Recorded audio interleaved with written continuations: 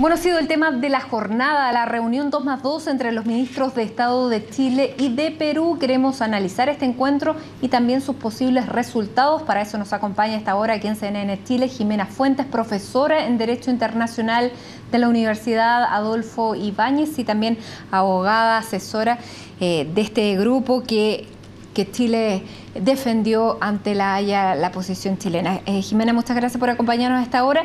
Y bueno, tenemos la incógnita, estamos ya prácticamente 12 eh, horas de, de iniciar la reunión y todavía no hay resultados. ¿Qué se puede leer de eso también? Bueno, parece que ha sido una reunión difícil en el sentido que ya llevan casi 12 horas para ponerse de acuerdo en cómo implementar el fallo.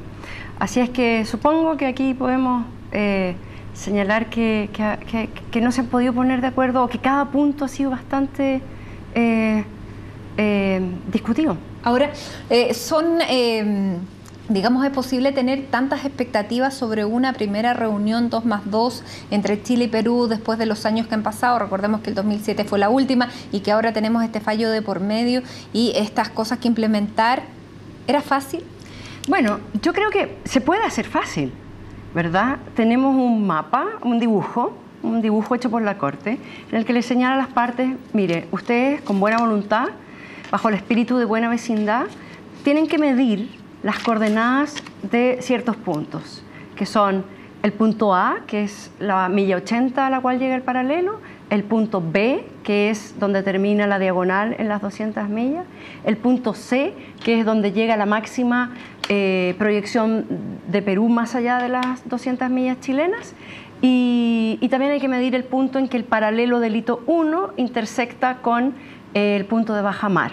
Ok, son para el, punto del hito 1 que no está y que está en discusión, que Perú ha puesto en discusión, de ahí en adelante todo falla, todo el, digamos el castillo se cae. Hay una cosa que Perú no ha puesto en discusión y no puede poner en discusión, que es el siguiente, que la Corte dijo que había un acuerdo tácito en que el paralelo es el límite marítimo entre los dos estados por 80 millas. Y además la Corte señaló cuál es el punto inicial, que era una de las cuestiones que había presentado Perú, ¿verdad? ¿Cuál es el punto inicial? Y Perú tenía una pretensión ahí, decía, el punto inicial es este llamado punto 266 que ellos habían medido unilateralmente. Punto de la Concordia. Exacto, y que le llaman punto de la Concordia. La Corte fue clarísima, ese no es el punto inicial de la frontera marítima. El punto inicial de la frontera marítima es otro. Entonces, parte de esta base la Corte dice, bueno, mire, hay un acuerdo en que es el paralelo que pasa por el hito 1. Ese es el límite marítimo por 80 millas. Ahora, ¿de dónde, desde, ¿desde dónde lo contamos las 80 millas? No se cuentan desde el hito 1. Se cuentan desde el, punto de intersección de ese paralelo, cuya coordenada está fijada por ambos estados. O sea, aquí podríamos decir que por lo menos hay un punto en el que hay acuerdo, que es el punto de latitud de ese paralelo, porque lo midieron en el año 68 y 69, que es 18 grados 2103. No hay duda que ese es la coordenada, por lo menos el punto de latitud. Lo que nos falta medir es el punto de longitud de qué? Del punto de bajamar de ese paralelo. Entonces no es tan difícil ponerse de acuerdo en eso y señalar, mire, vamos a tener una comisión conjunta, una comisión mixta, formada por peritos geógrafos de ambos países, para medir estos puntos. Ya hemos medido puntos en común en otras oportunidades, medimos el hito 1. Pero aparentemente eh, para Perú es muy importante este triángulo terrestre equivalente a tres canchas de fútbol que no tiene costa, eh, pero que eh, hoy día hemos escuchado declaraciones fuertísimas de exministros diciendo de que si Chile no reconoce este punto de Concordia como hito fundador, no podemos esperar nada más. Estaremos entrampados en ese punto, vamos a necesitar recurrir a una explicación eh, de la Corte Internacional llegar a Estados Unidos? ¿Cómo lo ves? Bueno, yo creo que aquí hay que guardar las proporciones, ¿verdad? A mí me parece totalmente desproporcionado tener una controversia internacional sobre tres hectáreas. Eh, sería un caso único en la historia de las relaciones internacionales en que dos estados no pueden ponerse de acuerdo sobre tres hectáreas o que decían ir a una corte internacional por tres hectáreas, porque la verdad es que el costo, ya sabemos que el costo de ir a una corte es tremendo, ¿verdad? Eh, en términos no solo monetarios, sino también en términos de, tiempo. Bueno, eh, han puesto mucha importancia en eso, pero podemos decir que esto ya es una cosa simbólica para, para Perú. Eso es playa, eso es arena. No hay ningún recurso económico, estratégico en ese lugar. Y además, de acuerdo al fallo de la Corte, como tú bien dices, Matilde, si eso fuera peruano, que yo creo que no lo es, y que la práctica también demuestra que no lo es, sería costa seca, que se llama, es decir, enfrentaría un mar chileno, porque la Corte ya determinó que el límite marítimo es el paralelo que pasa por el hito 1. Y si es un terreno tan poco importante, ¿por qué lo defendemos tanto?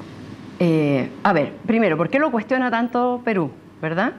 Perú lo cuestiona, parece que aquí por una cuestión simbólica o tal vez por una cuestión estratégica de seguir manteniendo un tema abierto con nosotros. Y a nosotros, de parte de Chile, yo creo que esto es una cuestión de justicia. Hay una cosa que no debemos olvidar. Perú siempre consideró que el punto final de la frontera terrestre era el hito 1. Tanto es así que la ley de Tacna, que fija los límites de la provincia de Tacna, señalaba clarísimo, límite suroeste, es el hito 1. Y nosotros sabemos cuándo cambiaron esa ley.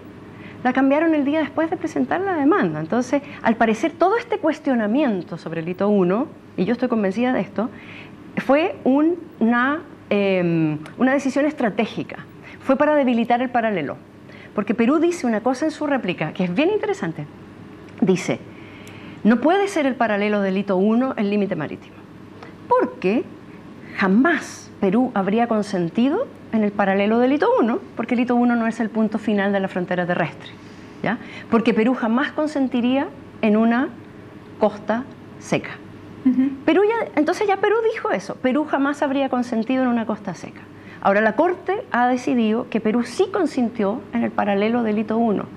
Por lo tanto, nosotros con eso tenemos un muy buen argumento para probar que cuando Perú consintió en el paralelo del hito 1, jamás pensó que estaba creando una costa seca, porque en la cabeza tenía la idea, lógica además, de que todo lo que queda al sur del paralelo es chileno. Jimena, se nos acaba el tiempo, pero ¿qué podríamos esperar de este primer encuentro para cerrar ya esta conversación? Bueno, yo espero que eh, al final de, esta jornada, ojalá hoy, no sé si esto se extenderá hasta mañana, pero que tengamos una declaración en la que se señalen que se han puesto de acuerdo en varios puntos. Primero, en cómo vamos a proceder para medir efectivamente las coordenadas de los puntos que hay que medir. Eh, eso también se tiene que traducir en un mapa, en un mapa que es algo más sofisticado que el dibujo que hizo la Corte, ¿verdad? Hay que hacer una cartografía común. Para eso tienen que colaborar las armadas de ambos países. Además, es importante Em, que quede clarísimo qué reglas domésticas, de derecho doméstico, sobre todo normas reglamentarias, que se van a tener que cambiar en uno y en, otro país. ¿ya? Cambia la constitución. Claro, pero también hay otro punto bien importante. La Corte en la sentencia señala que Perú se comprometió, tuvo lo que llaman ellos un undertaking, en el sentido de que este mar, que es zona económica exclusiva peruana, se tiene que ejercer como zona económica exclusiva. Y eso es muy importante, porque en la zona económica exclusiva hay libre navegación para terceros estados. Y resulta que hoy día Perú pide autorización previa para poder circular por su zona económica exclusiva. Eso es contrario al derecho internacional. entonces, entonces, sería muy bueno tener claridad de que, que Perú deje de pedir esta autorización previa y permita la libre navegación de embarcaciones de terceros estados, incluidos embarcaciones chilenas. Perfecto, eso es lo que podríamos esperar, una reunión que ya lleva, como decíamos, 11 horas eh, y que vamos a tener que comentar mañana, ya no sé si contigo, porque parece que se nos va de vacaciones. Por fin, me voy de vacaciones. Muy bien, eh, Jimena, muchísimas gracias por habernos acompañado a esta hora nuevamente a analizar otro punto más en este diferendo marítimo que pensábamos ya había terminado. Muchísimas gracias. Gracias por la invitación.